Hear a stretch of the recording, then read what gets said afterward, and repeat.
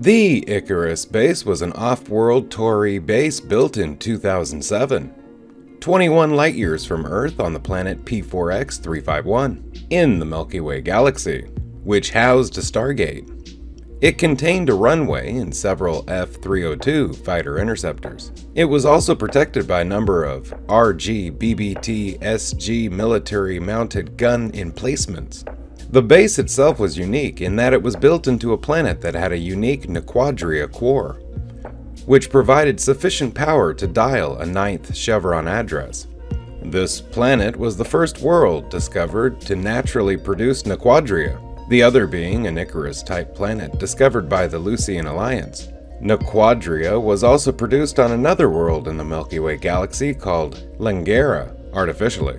Naquadria is known to be highly unstable, and while it emits tremendous energy, it also emits an equivalent amount of radiation as it destabilizes, giving the core of the planet a unique radioactive state. As an added safety feature, due to its highly volatile nature of the core, the Stargate deployed on this world was configured in such a way that it could not receive incoming wormholes, as such an event could have triggered instability in the planet. The Stargate itself was configured to draw power directly from the planet's core, rather than the attached DHD, so it could dial a ninth chevron address once the coordinates were successfully unlocked. The base itself was constructed inside a mountain on the surface of a planet, much like Stargate Command and various off-world Tauri bases in the Milky Way galaxy. The mountainside had a single defense emplacement, which housed the RG-BBT gun emplacements and several additional 50 caliber weapons. Icarus Base also housed a type of shielding in the bunker complex that prevented the transport with Asgard transporters.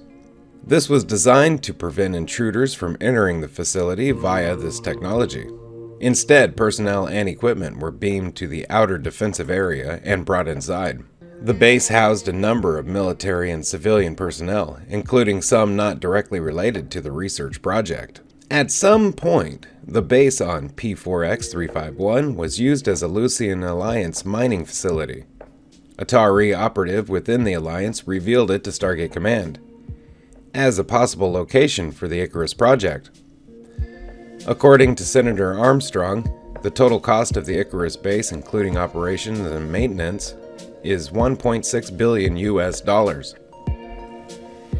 In 2009, the George Hammond was sent to transport Dr. Nicholas Rush, Eli Wallace, Senator Armstrong, and Chloe Armstrong to the Icarus base to attempt to dial the Stargate's ninth chevron. The cost of the Icarus base was so much that the funding of which nearly cost Senator Armstrong his entire career, and without his belief in the program, it never would have been approved. In 2009, the Lucian Alliance launched a force of several Hatak motherships, death gliders, and troop ships, which attacked the Icarus base as part of their campaign against the Tauri.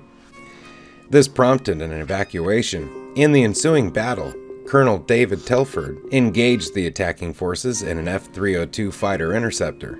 In desperation, Dr. Nicholas Rush, with the help of Eli Wallace, figured out how to dial the ninth chevron address. Using Earth's point of origin, they cracked the code and Rush dialed the Stargate to the ancient vessel Destiny instead of Earth. The base's personnel were able to evacuate. When the base came under attack, the core of the planet was destabilized, resulting in the complete destruction of the planet. The attacking Allied forces failed to anticipate this outcome, resulting in the complete destruction of the attacking fleet. The USS George Hammond, which was defending the base from orbit, managed to locate all but approximately 80 of the Icarus base personnel and evacuate before the planet was destroyed. Colonel Samantha Carter reported that the remaining personnel, who could not be accounted for, were inside the base and could not be beamed out. However, readings indicated that the Stargate was active for six minutes before the planet's core went critical.